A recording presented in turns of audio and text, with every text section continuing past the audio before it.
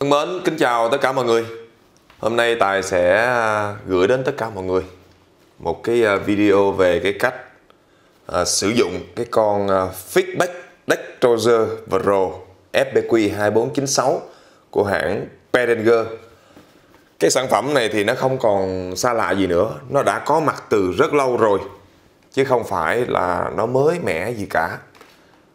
Feedback Dextroser hủy diệt tần số phản hồi. Và Tài đã đọc được những dòng bình luận rất nhiều ở trên kênh của mình.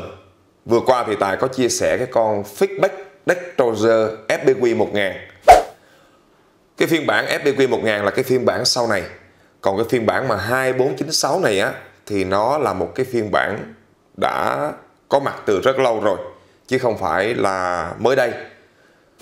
Nhưng nó hay hơn ở cái chỗ là chip DSP xử lý của nó là 24 bit 96 kHz nó sẽ cắt hú tự động. Nó vẫn có chức năng cắt hú tự động cho chúng ta nhưng nó sẽ tự động nó bồi. Nó bồi cái tần số mà đã bị cắt đó rồi. Thay vì à, ví dụ như cái con FBQ 1000 thì sau khi nó hạ đi những cái tần số gây hú có thể mà quá hú thì nó hạ tiếp nữa để mà nó làm cho tiếng chúng ta bị đục đi, thì cái con này nó ngược lại, nó cao cấp hơn, nó sẽ bồi.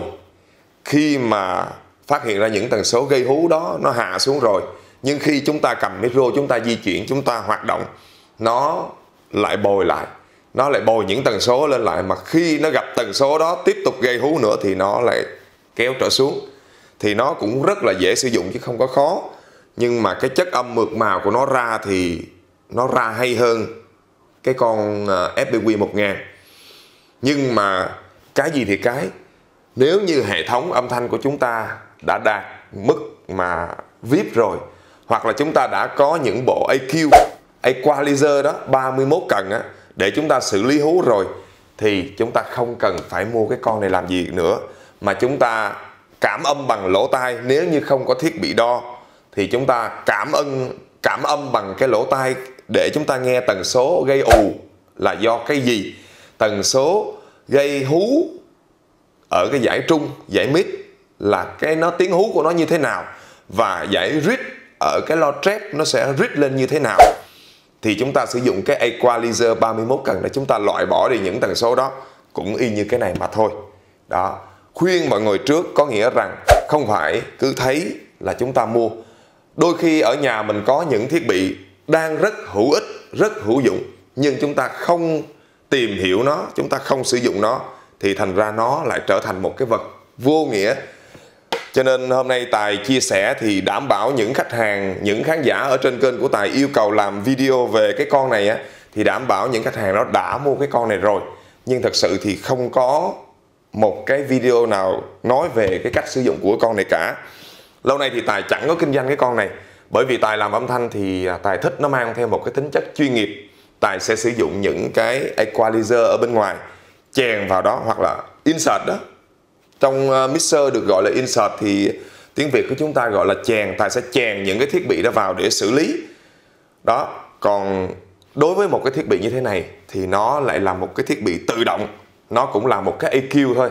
Đó, nó cũng là một cái equalizer nhưng nó sẽ thông minh hơn nó tìm tòi ra những tần số gây hú để nó loại bỏ. Và tài cũng không có giỏi hơn mọi người gì đâu. Bên trong cái à, vỏ hộp như thế này à, của một chiếc máy như thế này thì nhà sản xuất tặng cho chúng ta sách hướng dẫn sử dụng rất là nhiều. Ở bên trong này có rất là nhiều ngôn ngữ nhưng à, tài chỉ cần tìm một trong bên trong này có riêng một cái cuốn ngôn ngữ là tiếng anh. Đó thì à, tiếng Anh mình cũng không có giỏi nhưng mà cũng thực sự là tài phải nhờ vào cái này.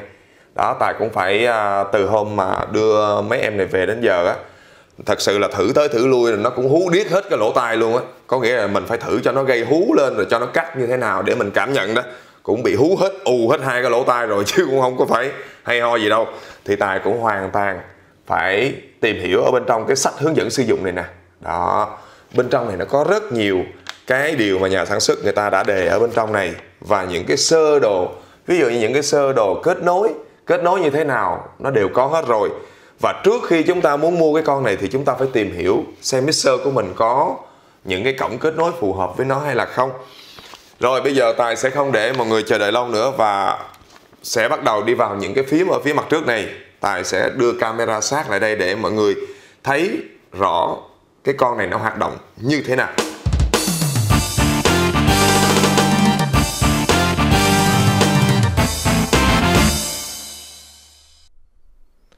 Để kết nối và sử dụng feedback deck trouser này thì nó có rất là nhiều cách để sử dụng.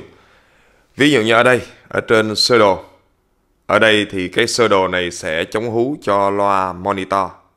Đó, mọi người thấy đây là monitor ha. Thì ở đây à, trên chiếc mixer của mình à, sẽ dùng ốc sen. Đó ốc 1 sen ốc 2 sen để chúng ta sen cái tín hiệu sang cái FBQ 2496 này sau đó cái FBQ 2496 này mới đến main power mới đến cục main cục main rồi mới đến loa monitor. Đó là cái sơ đồ để sử dụng cho loa monitor. Và cái sơ đồ thứ hai đâu rồi đây. Cái uh, sơ đồ thứ hai thì chúng ta sẽ insert cho cả hệ thống âm thanh của chúng ta luôn. Đó thì trên mixer mọi người thấy có chữ insert không? Đó còn à, vấn đề những à, anh em nào mà mua mixer không có ngõ insert thì Tài sẽ làm vào video lần sau nha. Tài có đọc được những bình luận đó ở trên kênh rồi Nhưng mà việc để gõ phím trả lời lại thì Tài không thể nào Tài nào mà gõ được hết cho cho nổi. Cho nên Tài sẽ chia sẻ vào những video sau. Còn hôm nay Tài sẽ làm theo cái cấu hình này Là sử dụng ngõ insert trên chiếc mixer. Có nghĩa rằng từ chiếc mixer của chúng ta ao thẳng ra main power Rồi main power sẽ uh, phát ra hai loa. Còn cái vấn đề mọi người sử dụng controller thì uh, ví dụ như là mixer phải xuống controller để phân chia ra giải sub giải full đó là nguyên một cái hệ thống âm thanh của mình thì vẫn y vậy thôi. Còn cái con này nó sẽ được insert vào ngay cái ngõ main left main right ở trên chiếc mixer của mình.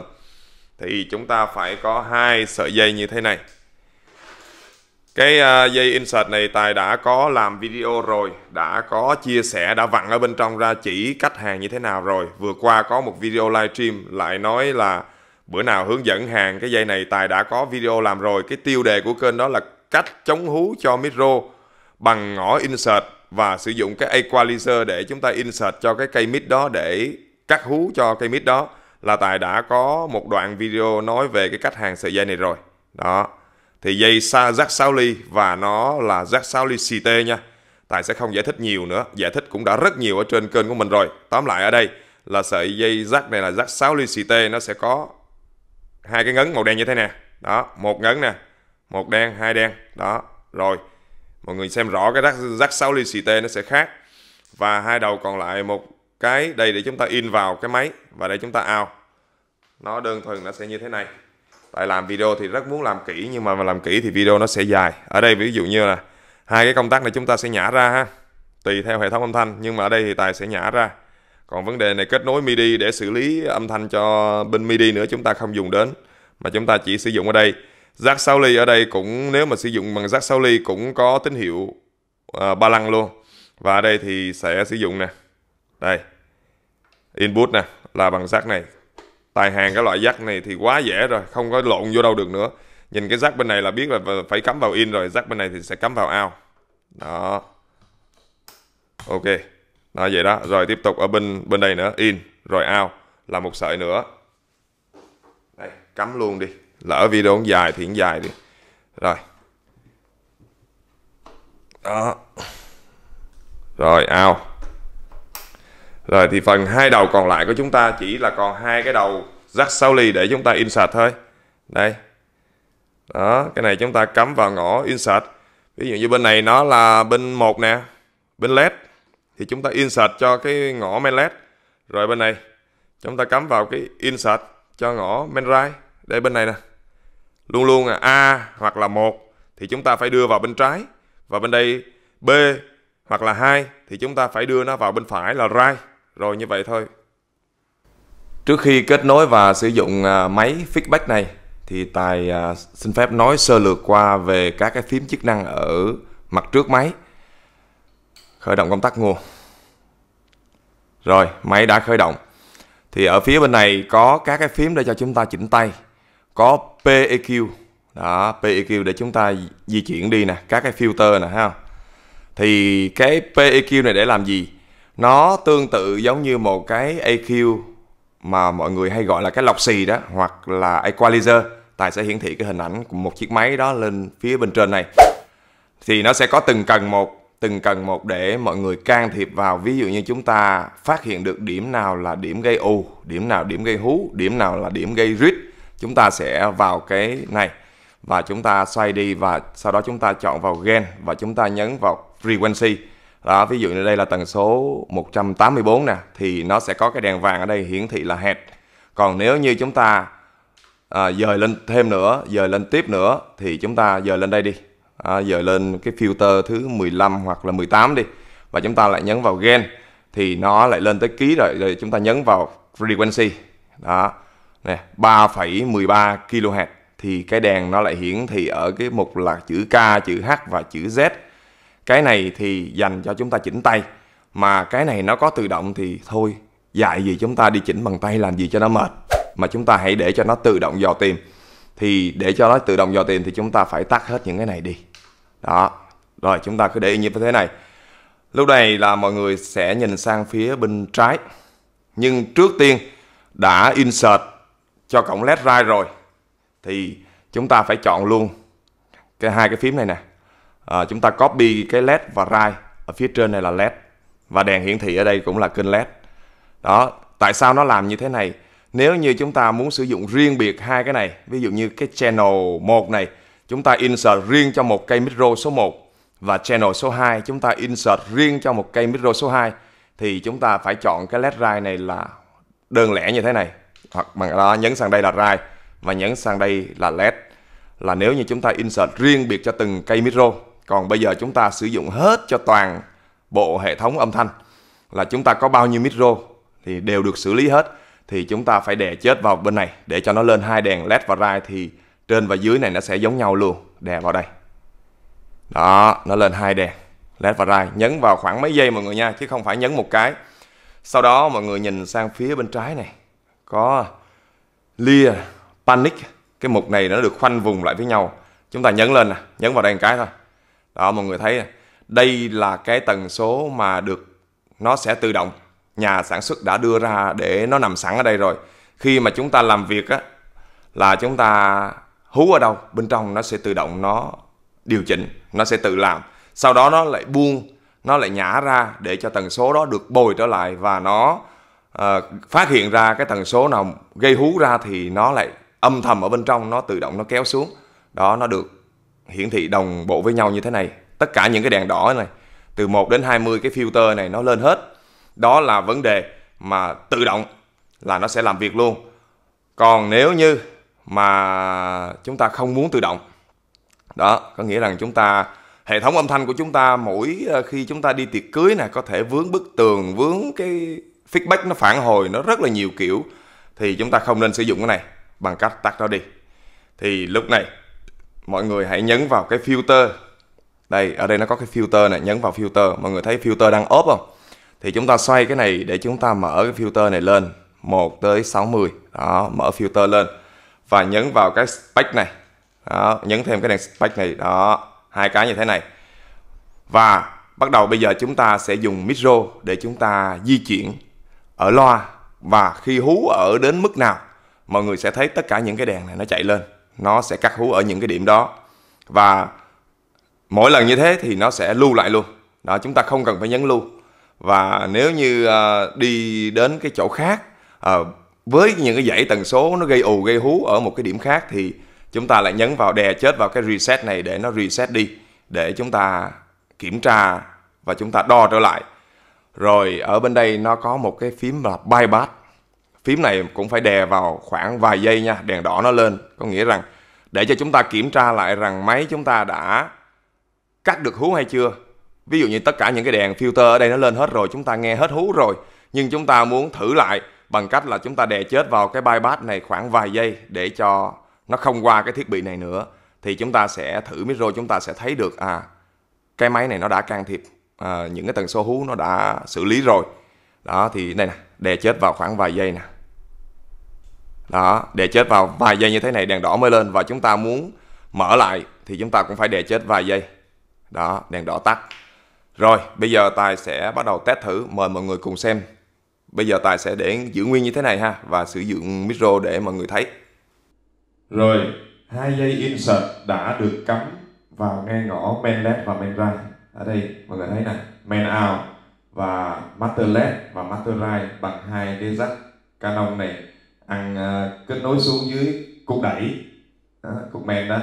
Rồi ở đây là hai cái dây insert main left và main right. Và chiếc mixer này thì nó không có effect và tài có kết nối effect rời từ bên ngoài gửi vào reverb. Lên lên. Rồi delay à lên. Để thử cái uh, feedback là chúng ta khi có thêm hiệu ứng effect vào thì nó gây ra feedback rất là nhiều đó mọi người thấy tài đang đứng gần với lo nó muốn hú hú và ở trong cái phòng này của tài á thì cái độ phản hồi feedback rất là nhiều.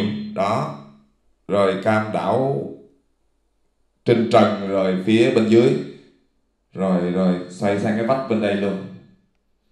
Đó mọi người sẽ thấy cam uh, quay xung quanh. Ở đây rất là gần và phòng này phòng kính cách âm đóng cửa nữa. Và cả ngày hôm nay uh, khi mà test cái con này thì hai lỗ tai cũng muốn điếc hết rồi. Nó hú thử hú thử này thử kia, nó cũng muốn điếc hết rồi. Rồi bây giờ mà mời cam quay lại đây. Bắt đầu bây giờ à, chúng ta sẽ thử để cho nó gây hú mà ha. Nhấn vào cái filter này. Đó, mọi người thấy cái chữ này hiển thị này đó, rồi. Đặt camera xa đi. Bắt đầu. Sợ lắm mọi người ơi. Sợ cái hú lắm hú điếc cái lỗ tai luôn. Bắt đầu uh, mở uh, reverb vô nè. À lên. Mở delay luôn. À lên. Bắt đầu nha. Chưa có cái đèn filter nào lên hết. À lên. À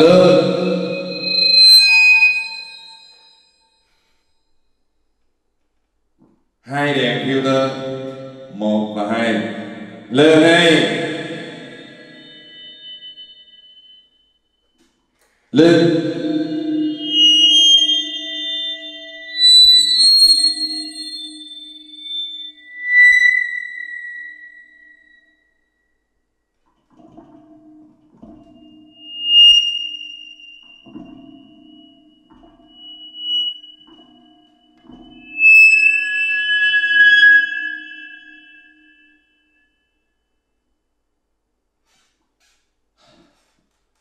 14 cái đèn filter. Nó đã cắt từ filter số 1 cho đến filter số 14 rồi. Trời điếc cái lỗ tai luôn rồi đó. Và Tài vẫn thường nói với mọi người Nếu như cái, tại vì đây là trong cái phòng của Tài phòng kính thì nó là như vậy. Nếu như chúng ta ra ngoài trời thì không có mức nào mà nó hú khủng khiếp như vậy đâu. Cái sự phản hồi nó không có nhiều đến cỡ mức độ như vậy đâu và bây giờ à, chúng ta sẽ kiểm chứng lại ha. Cam giờ đã xa xíu. Bắt đầu tài kiểm chứng thì tài sẽ nhấn vào cái bypass này thì đèn đỏ nó lên. Là chúng ta bypass là không qua cái này xử lý. Và sau khi chúng ta mở lại. Và bây giờ nếu như chúng ta bypass nó nó vẫn âm thầm nó cắt thêm nữa. Nếu mà nó thấy thêm, có tần số hú nó sẽ cắt thêm. Còn nếu như chúng ta muốn nó không cắt nữa thì chúng ta nhấn vào cái phím này free free uh, freezer nhấn vào cái phím này. Đây. Là không cắt nữa. Có nghĩa rằng chúng ta chỉ cắt đến filter số 14 thôi là không cắt nữa. Rồi bây giờ mở lại effect. Add delay. Add. Rồi bypass không qua rồi ha. Lên.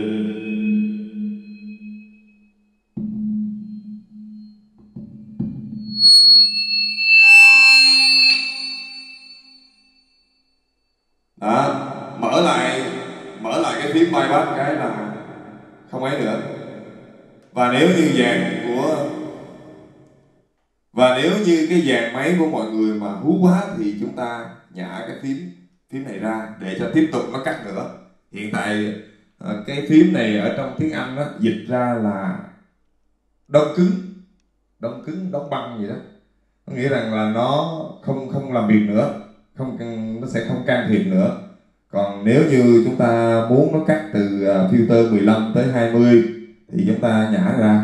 Đó, thì tiếp tục cái chữ này hiển thị lên là nó sẽ cắt nữa. Đó. Rồi, đi đến ờ, những cái nơi ờ, khác. Ví dụ như tới những cái khu vực mà có nhiều bức tường nó tạo ra feedback nhiều, mọi người có thể reset bằng cách đè chết này, đè chết này đi để reset lại. Còn nếu như bây giờ như thế này, chúng ta tắt nguồn đi và mở nguồn lại, nó vẫn nhớ, nó vẫn nhớ ở cái điểm này và nếu như chúng ta đi tới chỗ khác, chúng ta muốn cho nó cắt hú ở chỗ đó. Ví dụ như ở đó nó có nhiều tần số gây ù, nó khác với cái cái cái không gian mà chúng ta vừa mới làm ở chỗ khác, thì mọi người đè chết vào cái reset. Đó. Đè chết đi là không, bây giờ là không có ấy mở effect lên là gây hú từ lưa nha. Lên lên. Lên. Tiếp tục nó sẽ cắt lại này. Lên.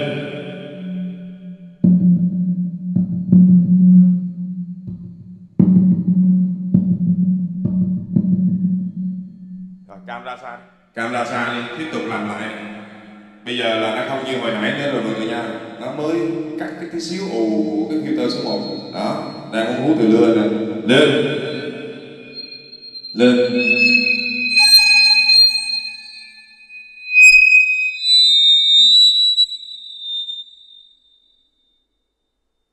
Đó, vậy thôi. Đơn giản không đó.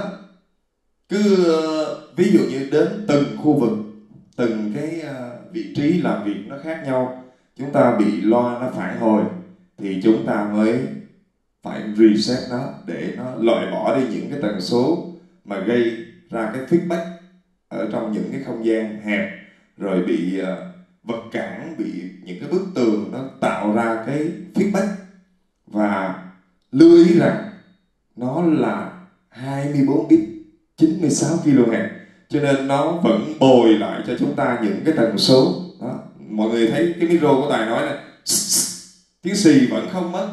Tuy rằng nó đã loại bỏ đi cái tần số gây hú hí đó nhưng mà nó lại không mất tiếng xì như người ta. Tiếng mic chúng ta vẫn cứ đẹp như ngày nào.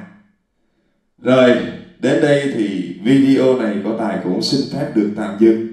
Và tài sẽ hẹn gặp lại tất cả những khán giả yêu cầu à, làm cái con này với mixer không có ngõ insert rồi, xin hẹn gặp lại tất cả mọi người vào video lần sau. Bye bye.